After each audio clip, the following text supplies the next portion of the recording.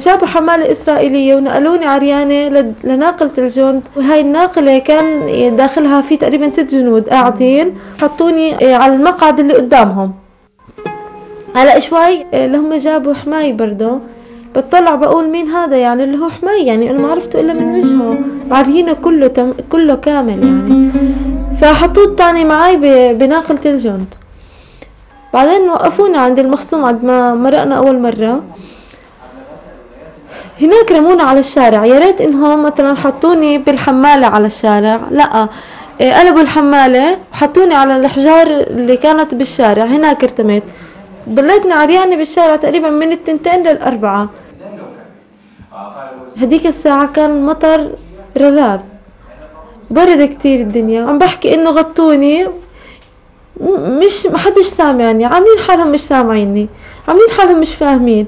عم بحكي له بأشر له بقول له غطيني بردانة بردانة برجل له رش عم ما يعني على أساس كل هذا بس إني أتغطى قدامه استر حالي استر عورتي. يعني مش عارفه شو أعمل. عاملة هيك بإيدي مش عارفه شو أعمل يعني. يعني الوحدة فينا بتطلع محجبة وبتستحي من أخوها بتستحي من من أهل بيتها.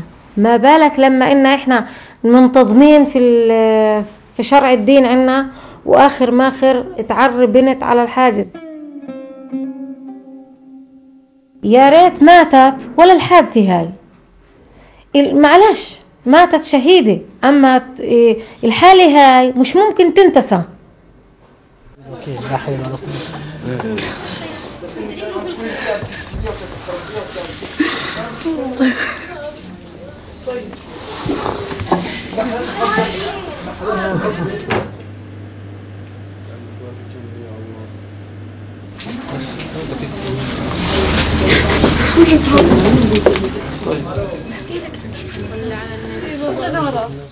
وأنا كنت بالمستشفى كانت في اشتباكات يعني بالبلد بنابلس فخلص صارت عندي حب إني أسمع صوت رصاص ولا هذا بس منشان إيش؟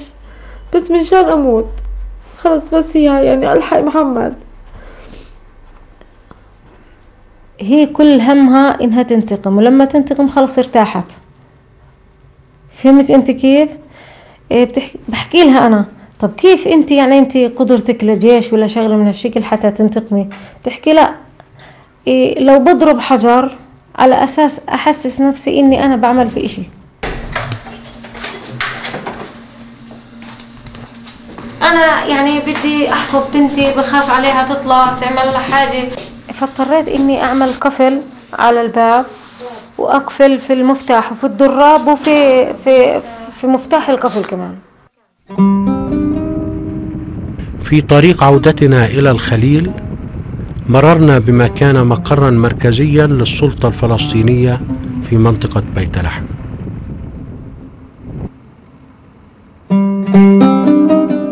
وصلنا حاجز قرية الخضر الذي لا بد للقادمين إلى بيت لحم أو الخارجين منها باتجاه القرى المحيطة بها أو باتجاه مدينة الخليل المرور عبره.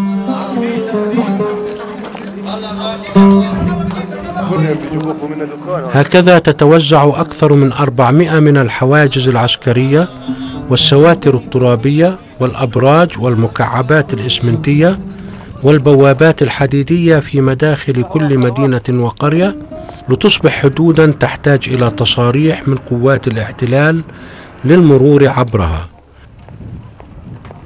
وبذلك أصبح على الفلسطينيين أن يعتادوا على مفاهيم جديدة للمسافة والزمن.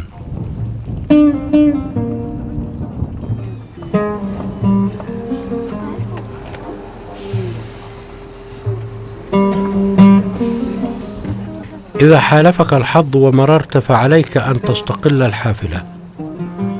إذ يمنع الاحتلال الفلسطينيين من استخدام مركباتهم الخاصة على هذه الطريق والتي حولها الاحتلال إلى طريق رئيسة للمستوطنات الممتدة من القدس إلى الخليل ضمن سياسة فرض الأمر الواقع.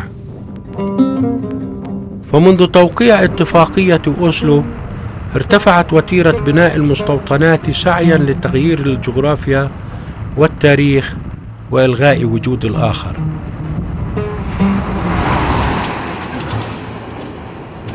حاجز كفار عصيون حاجز جديد بين حواجز قديمة وجديدة على طول الطريق إلى الخليل.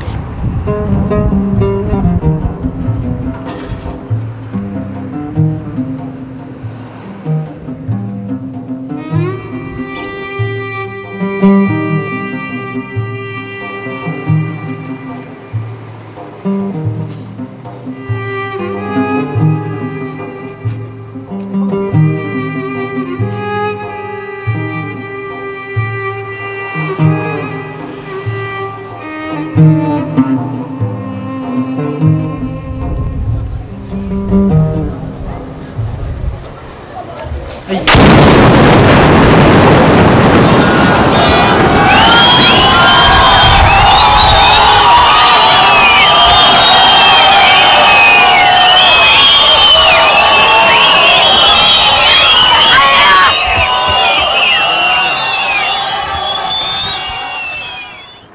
يسكن في هذا المبنى 26 عائلة هي الآن بلا مأوى. وحجة الاحتلال هي لجوء اثنين من المطلوبين إليه.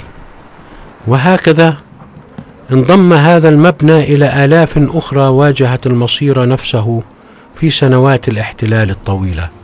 خشوا على العمارة فنسفوا البيت على.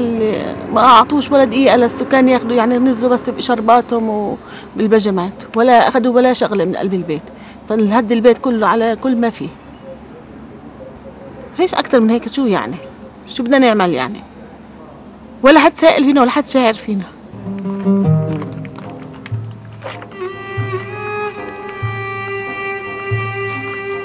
طلعوا زي ما خلقهم ربهم يعني طلعوا في البجمات وبعدين شوي غطى الشاشية. ابن ابني عمره 40 يوم يحرامه تقول له حرامه بدي أخذ الله ممنوع ترجعي تاخذي حرامه. نزلوهم وشحشطوهم وحرام هذا الظلم هذا. اشربي مدي هيك افتح. هيك أيمن هيك هيك افتح. يعني أنا جوز بنتي سكن أمه بالشقة وأخوه لأن محلتهم المادية زي الزفت. ما قعدوش عشرين يوم في الشقة.